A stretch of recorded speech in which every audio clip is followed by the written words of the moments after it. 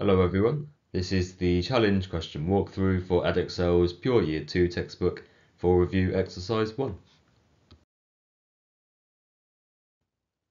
Okay, for question 1, the functions f and g are defined by f of x equals minus 3 times the modulus of x plus 3 plus 15 and g of x equals minus 3 quarters x plus 3 halves. And the diagram shows a sketch of the graphs y equals f of x and y equals g of x which intersect at the points a and b where M is the midpoint of AB. The circle C with centre M passes through the points A and B and meets y equals f of x at the point P as shown in the diagram. And for part A we're asked to find the equation of the circle and for part B the area of the triangle APB. So a good place to start would be to find the points of intersection A and B. So we'll do that by setting f of x equal to g of x. So we have minus 3 times the modulus of x plus 3 plus 15 is equal to minus 3 quarters x plus 3 um, halves. And you can see from the diagram that there are two solutions um, to this equation, one where x plus 3 will be positive and the other where it is negative. So if we first consider where um, they are positive, so here we're looking for positive x plus 3. So we have minus 3 times x plus 3 plus 15 is equal to minus 3 quarters x plus 3 halves. Expanding out the brackets, we have minus 3x minus 9 plus 15, so plus 6, is equal to minus 3 quarters x plus 3 halves.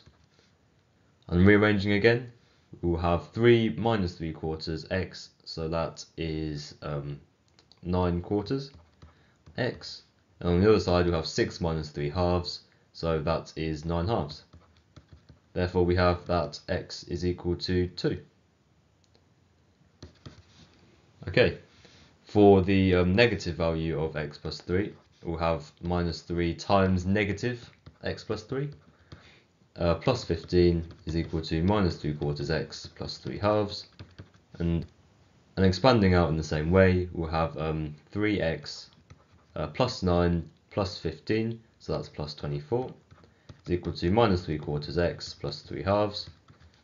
And rearranging, we get um, 15 quarters x is equal to 3 halves minus 24, so that's minus 45 over 2. Therefore, x is equal to minus 6. And now we can find the corresponding values of um, y. So for the positive value of x plus 3, we'll have that y is equal to uh, minus 3 quarters times x plus 3 halves from the um, equation for g of x. And that equals minus 3 halves plus 3 halves so that's 0 so we know that the point um, b from the diagram will be 2 0 now doing the same for the point a here. The value of y is equal to minus 3 quarters times x which is minus 6 um, plus 3 halves and this is equal to um, 6. So we have the point A minus 6, 6. And using these two points we can now find the midpoint of the circle M, so that's here on the diagram. Okay, um, the midpoint of these two points will be 2 minus 6 over 2, so that's minus 2, and 0 plus 6 over 2, so that's 3. Now, because we have the, um, the uh, coordinates of the centre of the circle, all we need to do to find the equation is to find the length of the radius. And so we can use um, these two um, points on the circle and the centre to find the uh, length of the radius. So let's use A and M. We have that the length of the radius, MA, is equal to the square root of minus 6 minus minus 2, so plus 2 squared, plus, uh, 6 minus 3 squared. That will give us 4 squared plus 3 squared, which is 25, so the radius has length 5. Therefore, the equation of the circle for part A is x uh, plus 2 squared uh, plus y minus 3 squared using the coordinates of m and that is equal to the radius squared, so 25. And for part B, we're asked to find the area of the triangle APB. So we need to find the intersection of um, this section of the modulus graph and the circle. So we're looking at the intersection of um, minus 3 times minus x plus 3 plus 15 and the circle. So y equals minus 3 times minus x plus 3 plus 15. And that equals 3x plus 9 plus 15, so 3x plus 24. And we're looking for the intersection of this um, line with the circle. So we can do that by substituting this value of y in terms of x into the equation for the circle. So we have x plus 2 squared plus y, so that's 3x plus 24 minus 3, so plus 21 squared is equal to 25. So we have x squared plus 4x plus 4 plus 9x squared um, plus 126x plus uh, 441 is equal to 25.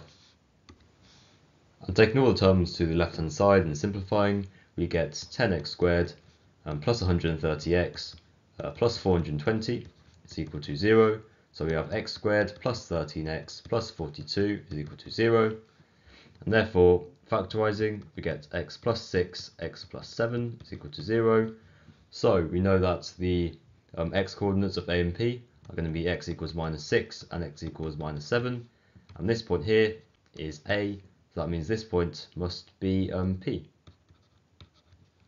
So now we have the coordinates of P, minus 7, and we can plug this value of x back into the equation y equals 3x plus 24 to find the y coordinate. So 3 times minus 7 plus 24 gives us 3. So we have the coordinates of P as minus 7, 3. And now we can look at the triangle APB. Because um, AB is the diameter of the circle, because the midpoint is the centre, the midpoint of AB is M, therefore APB must be a right angle from your circle theorems. So this is A, this is B, this is P. So if we look at the length AP first, that is equal to the square root of minus 6 minus minus 7, so plus 7 squared, plus 6 minus 3 squared. That gives us the square root of 1 squared plus 3 squared, so that's root 10. And for PB, uh, we have the square root of 2 minus minus 7, so plus 7 squared, plus, uh, 3 minus 0 squared. And that will give us 9 squared plus 3 squared, so that is the square root of 90, or 3 root 10. So we have that the area of the triangle is equal to a half base times height, which equals um, 3 halves times 10, so that is 15. And that is our final answer.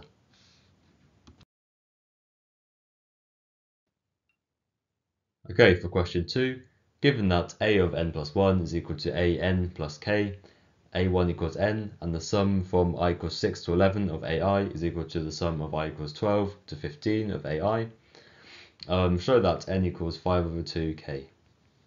So, we're given that a n plus 1 is equal to a n plus k, and we know that a1 equals n, therefore a2 is equal to a1 plus k, so that's n plus k, a3 is equal to a2 plus k, so n plus 2k, and so on, until we get um, ai, which is equal to n plus uh, i minus 1k. So the coefficient of k is always 1 less than the i value here. Okay, if we look at the sum from i equals 6 to 11 of ai, we get that as equal to a6 plus a7 plus and so on and so on, and so on until we reach a11. And this is equal to n plus 5k plus n plus 6k plus so on and so on, so on until we get to n plus 10k for a11. And this is equal to where we've got uh, 6, 7, 8, 9, 10, and 11, so that's 6 lots of n, plus 5, plus 6, plus 7, plus 8, plus 9, plus um, 10, um, lots of k. But now into your calculator, 5 plus 6 plus 7 plus 8 plus 9 plus 10 is 45. So we have 6n plus 45k. Now doing the same for the sum from i equals 12 to 15 of a i, We have that is equal to a12 plus a13 plus a14 plus a15 and that is equal to n plus 11k plus n plus 12k plus n plus 13k plus um, n plus 14k. And that gives us four lots of n plus 11 plus 12 plus 13 plus 14 which um, gives us 50k and we're told that these two um, values here are equal. So we have 6n plus 45k is equal to 4n plus 50k. Therefore, 2n is equal to 5k, and n is equal to 5 over 2k as required. And finally, our last question, question 3, the diagram shows a sketch of the functions p of x equals the modulus of x squared minus 8x plus 12 and q of x equals the modulus of x squared minus 11x plus 28 and we're asked to find the exact values of the x coordinates of the points a, b and c. So if we think about whether the um, quadratics inside these modulus signs are positive or negative at the points a, b and c, that should help us find the equations to solve to find the x coordinates of the points a, b and c. So if we draw out a table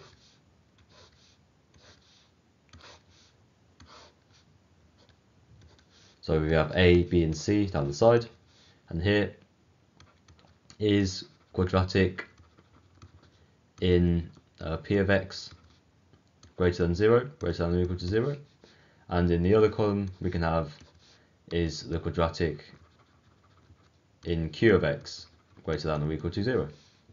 So for A we can see that it lies on the negative part of the black curve as usually it'd be down here but it's been reflected upwards so for A the quadratic is um, negative.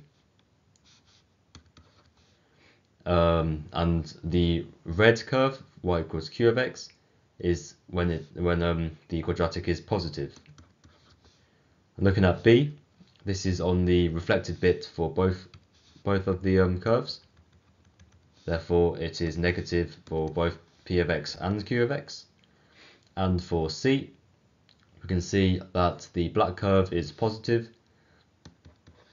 and the um, red curve is negative still. Okay, so if we're looking to find the um, coordinates of A, we need to solve the equation negative x squared minus 8x plus 12 is equal to positive x squared minus 11x plus 28. And so we have 2x squared uh, minus 19x uh, plus 40 is equal to 0. And using your calculator, you get that x is equal to 19 plus or minus the square root of 41 over 4. And if we think about what we're actually solving here, if we draw, we'll draw this out on the graph, we have the um, normal equation for the red curve here. So that will look something like this and then we have the negative um, the negative of the other quadratic here so that will look something like this you can see that there are actually two points of intersection here and here um, this one will be A and this one will be a phantom point. point and we can see that the phantom point the point which doesn't actually exist on the graphs of the curve that point will, um, you can see from this um, diagram that its x coordinate is larger than that of a. So we know here to take the negative square root to get the smaller value of x. So we have that the x coordinate of a is um, 19 minus square root of 41 over 4. Now doing the same for b. Here both the curves are negative so negative x squared minus 8x plus 12 is equal to negative x squared minus 11x plus 28. And we can um, take the negative away from both sides, divide through by minus 1, however you want to think about it. Then we can cancel out the x squareds, so we're left with 3x is equal to um, 16. So x is equal to 16 thirds. And that is only one solution there. And we can again we can draw a graph to see why where both of these curves are negative, that will look something like this. And the red curve You can see why there will only be one point of intersection, and that is B here. And finally, for C, we have the positive p of x, so that is x squared minus 8x plus 12 is equal to negative the quadratic in q of x, x squared minus 11x plus 28. And doing the same as we did for equation A, getting this into a solvable form, 2x squared um, uh, minus 19x uh, plus 40 is equal to 0. And you'll notice that this is the exact same as the equation for A because um, this because these two equations here are equivalent. One is just timesing the other through by minus 1. So we get the same equation and the same um, solution, but this time we're going to take the positive solution because C is further up the x-axis than A is. So we have that x is equal to 19 plus um, the square root of 41. And we can again see this on the graph. If we have um, a positive um, black curve, and then negative red curve, that will look something like this. This is the phantom point C, which doesn't exist on the real curve. And this is the actual point C, as you can see in the diagram. So we have xa is equal to 19 minus the square root of 41 over 4. Um, the x coordinate of b is equal to 16 over 3. And the x coordinate of c is equal to 19 plus the square root of 41 over 4. And that is the end of the challenge question walkthrough for review exercise 1. Thank you for watching and I hope you enjoyed the video.